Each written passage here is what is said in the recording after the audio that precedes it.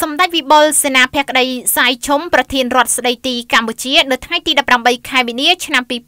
2021បានចេញព្រះរាជក្រឹត្យមួយបញ្ចប់គោរមងារអុកញ៉ាពីលោកដួងឆាយបន្ទាប់ពីបែកធ្លាយវីដេអូដែលលោកបានប្រើហិង្សាធ្ងន់ធ្ងរទៅលើអតីតភរិយាត្រូវបានបង្ហោះនៅលើ Facebook ខាងក្រោមនេះគឺជាព្រះរាជក្រឹត្យរបស់ប្រមុខរដ្ឋស្ដីទីដែលមានខ្លឹមសារទាំងស្រុងដូចតទៅព្រះរាជក្រឹត្យ យោងតាមសក្តីក្រាបបង្គំទូលថ្វាយរបស់សម្ដេចអគ្គមហាសេនាបតីតេជោហ៊ុនសែននាយករដ្ឋមន្ត្រីនៃព្រះរាជាណាចក្រកម្ពុជា ត្រាស់បង្គាប់បញ្ចប់ក្រមងារអុកញ៉ាពីអុកញ៉ាដួងឆាយធ្វើនៅរាជធានីភ្នំពេញថ្ងៃទី18ខែមីនាឆ្នាំ